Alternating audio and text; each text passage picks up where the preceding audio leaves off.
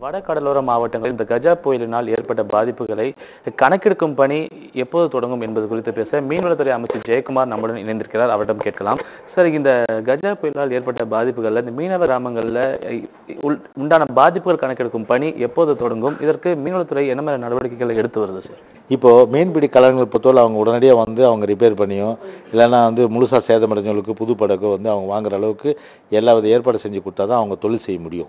எனவே தான் வந்து இது உடனடியாக வந்து இரவோடு இரவு வந்து இருபத்தஞ்சி பேர் தலைமையில் வந்து டீம் போட்டு இப்போ முழுமையாக கிட்டத்தட்ட நூற்றுக்கு மேற்பட்டவர்கள் எல்லாம் வருவாயத்தோடு இணைந்து அவங்க எல்லாம் ஒவ்வொரு கிராமத்துக்கு போயிட்டு கணக்கெடுக்கிற பணி வந்து ஒரு சில நாட்கள் இரண்டு நாட்களில் வந்து அவங்க முடிச்சிடுவாங்க முடிச்சுட்டு அரசுக்கு அளிக்க அனுப்புகிற பட்சத்தில் அரசு வந்து முழுமைய அளவுக்கு வந்து எவ்வளோ சேதம் இருக்கோ அந்த சேதத்தின் அடிப்படையில் வந்து அவங்களுக்கு வந்து நிவாரணம் வந்து வழங்குவதற்கு வேண்டிய ஏற்பாடு செய்யப்படும்.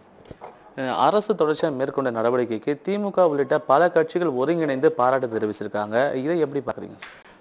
இந்த ஒரு மனப்பக்குவம் மனப்போக்கு ஒரு நல்ல ஒரு சிந்தனைகள் நிச்சயமாக வரும்போது தான் வந்து இன்னும் வந்து அதிகமான அளவுக்கு வந்து நம்ம வந்து ஒரு ஒரு நூறு மா நூறு மார்க் எடுத்தோம்னா கிட்டத்தட்ட இன்னும் வந்து அதிக அளவுக்கு வந்து நம்ம வந்து செய்யணுன்ற எண்ணம் வரும். அதனால் குற்றம் சொல்வதை விட நல்லது செய்யும்போது பாராட்டுற அந்த மனம் என்பது நிச்சயமாக ஒரு நல்ல பாராட்டத்தகுந்த விஷயமாகத்தான் நம்ம எடுத்துக்கொள்ள முடியும். பாதிக்கப்பட்ட மீனவ கிராமங்களில் மீன்வளத்துறை இயக்குனர் தலைமையிலான குழுக்கள் அமைக்கப்பட்டிருப்பதாகவும் விரைவில் கணக்கெடுக்கும் பணி முடிக்கப்பட்டு அறிக்கை முதல்வருக்கு சமர்ப்பிக்கப்படும் என்றும் மீன்வளத்துறை அமைச்சர் ஜெயக்குமார் தெரிவித்திருக்கின்றார். ஒளிப்பதிவாளர் யோகேஷுடன் சிவா நியூஸ் ஜே சென்னை. இது போன்ற முக்கிய வீடியோக்களை உடனுக்குடன் தெரிந்து கொள்ள நியூஸ் ஜே யூடியூப் சேனலை சப்ஸ்கிரைப் செய்யுங்கள்.